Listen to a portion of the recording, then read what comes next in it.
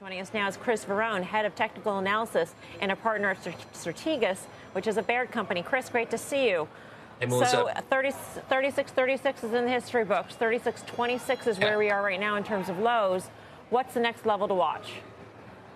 Well, it's lower. I mean, there's some modest support in, say, 3,500 neighborhood, but really our kind of view all year has been that the market is going back where it was pre-COVID. And, you know, that's 31, 32, 3,300 S&P. I, I think those are levels that we have to circle.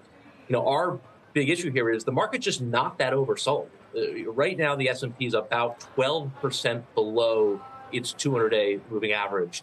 Historically, you need to get that closer to 20, 25% below the 200 to make a big oversold call. That's what we saw at the 1970 low, the 74 low, the 02 low, the 09 low. So I think it's early to make a big oversold call. The top of the market here, I think, is really where the risk is. I mean, look at the stocks that broke down first.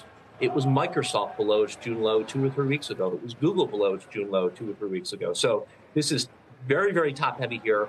I don't think we're through it.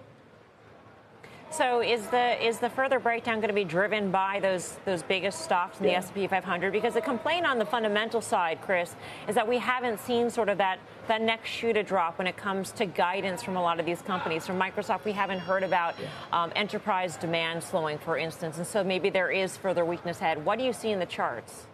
But when you look at the progression of this bear market, right? This began in spring of 2021 with the ARK stocks. And then they hit what we called the almost FAANGs, the names that were once considered to be FAANGs, but really never quite in that same conversation. Now they're going after the FAANGs. So I think the, the, the stocks that drive us lower from here over the next number of months uh, are your big weights. I think it's Apple. I think it's Microsoft. I think it's Google. I think it's AMD. I think it's Nvidia.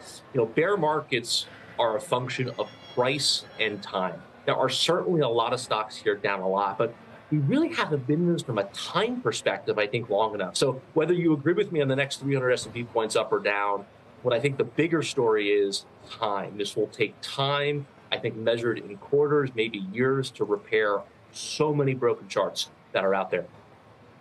Uh, in a world, Chris, in which the S&P 500 does go to 31, 3,200, are there sectors, are there stocks here that are relatively defensive, or is everything off the table? On that sort well, of think, trip lower?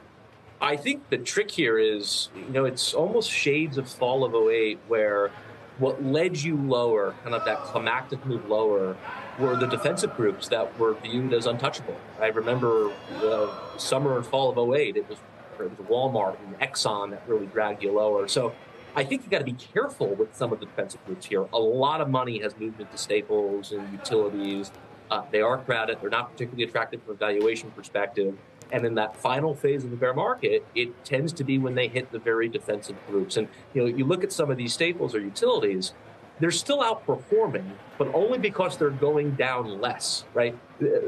If you look back earlier in the year, they were outperforming and going up. That's changed. This is now just a relative story. So I do think there's risk to some of these defensive groups uh, going forward.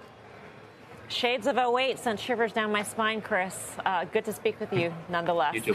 Chris Verrone.